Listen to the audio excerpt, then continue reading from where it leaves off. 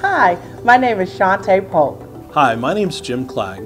and we're here to talk about diversity and what that means here at Marshall University.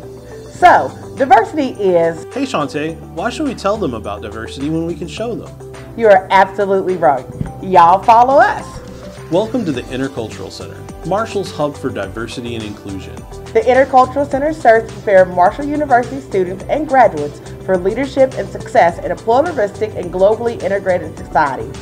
That means interacting and meeting students, faculty, and staff from all over the world through our year long events and trainings. The Intercultural Center is home to the LGBTQ plus office, the International Students Office, and the Center for African American Students. These offices host free and diverse programming all year round. You can also join any of the student organizations that are affiliated with these offices.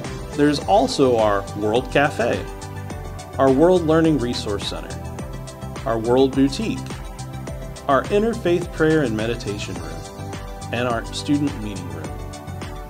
In these rooms, you can get resources, casually chat, or host programs, meetings, or events. Here in the Intercultural Center, there is so much for you to do and see and experience. So we just can't wait to meet you. We aim to make sure that you find your space on campus, that you make new friends, and learn leadership skills that will prepare you for your career. So make sure you come and visit the Intercultural Center where you are sure to find your home away from home.